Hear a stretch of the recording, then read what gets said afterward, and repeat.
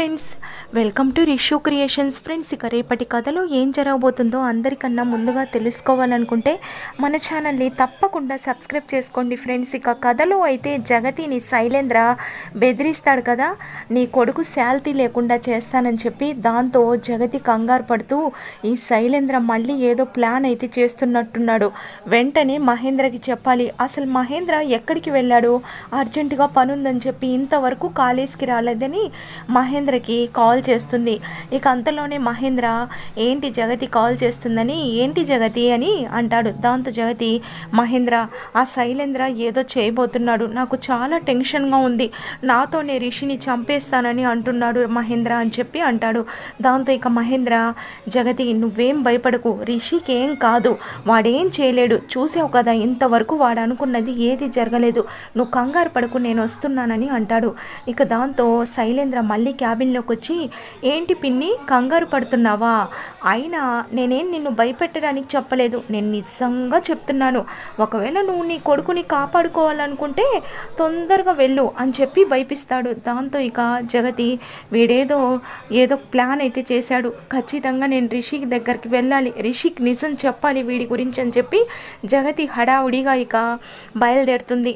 అలాగే వసుధార కూడా కాల్ చేస్తుంది తను వస్తున్నట్టు ఒక ప్లేస్కి రమ్మని చెప్పి అయితే అంటుంది. ఇక జగతి రిషికి కూడా కాల్ చేసి నీతో అర్జెంటుగా మాట్లాడాలని ఇక ఒక చోటికి రమ్మని చెప్పడంతో రిషి అక్కడికి ముందుగా వస్తాడు. వస్తారకంటే ఇక జగతిని చూసి ఏంటి మేడం సడన్గా ఇక్కడికి రమ్మన్నారు. మీరెందుకు వచ్చారు ఇక్కడికి? అని అడుగుతూ ఉంటే రిషి నువ్వు చాలా ప్రమాదంలో ఉన్నావు.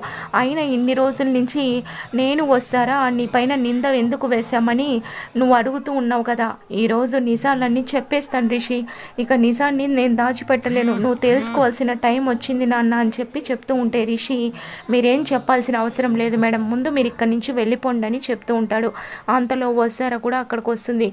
ఏంటి మేడం? ఏంటి? ఏం జరుగుతుంది? అని అంటుంటే రిషికి నిజం చెప్పాలి వస్తారా రిషి చాలా ప్రమాదంలో ఉన్నాడు అంటూ పైకి చూస్తుంది. అంతలోనే ఇక శైలేంద్ర నియమించిన రౌడీ అయితే రిషికి గురిపెట్టుంటాడు గన్ని. అది చూసిన జగతి ఇక ఒక్కసారిగా షాక్ అవుతుంది. ఇక అతను బుల్లెట్ని పేలుస్తూ ఉండగా జగతి రిషి అంటూ రిషి రిషికి అడ్డుగా వెళ్తుంది. ఇక ఆ బుల్లెట్ వచ్చి నేరుగా జగతి గుండెల్లోకి అయితే దూసుకొని వెళ్ళడంతో జగతి అక్కడికక్కడే కుప్ప కూలిపోతుంది. ఇక ఆ చూసిన రిషి అలాగే వస్తారా? మేడం మేడం అంటూ గట్టిగా అరుస్తూ ఉంటారు. ఇక జగతి అయితే స్పృహ కోల్పోతుంది. ఇక దాంతో వస్తారా రిషి?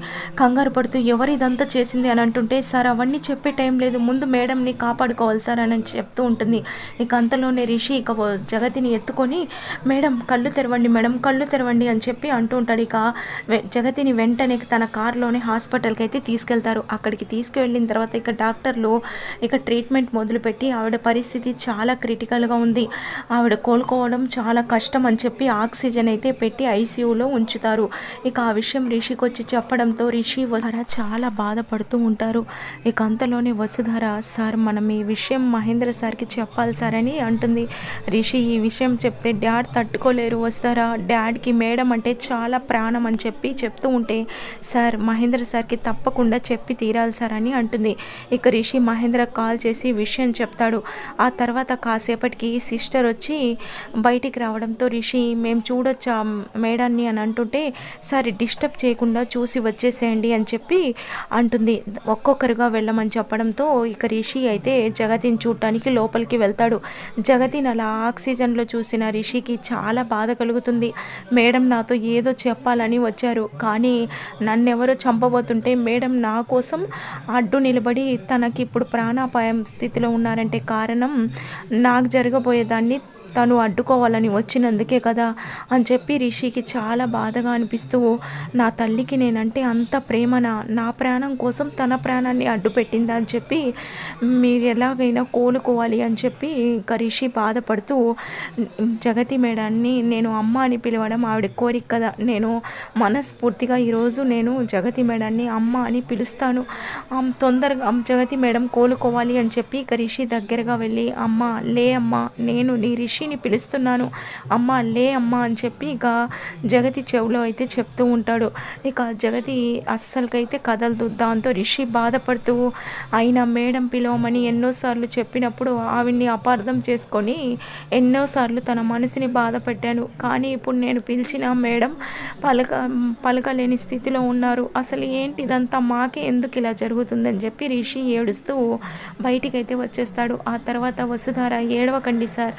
జగతి మేడంకి ఏం కాదు ఆవిడ తప్పకుండా కోలుకుంటారు అని చెప్పి అంటూ ఉంటుంది. దాంతో రిషి అవును మా అమ్మ కోలుకోవాలని చెప్పడంతో వస్తారా కూడా? ఇక జగతిని రిషి అమ్మ అనడంతో షాక్ అయి చూస్తూ ఉంటుంది. చూద్దాం ఫ్రెండ్స్ ఇక రిషి అమ్మ అని పిలవడంతో జగతి కోలుకుంటుందో లేదో ప్లీజ్ ఫ్రెండ్స్ వీడియో నచ్చితే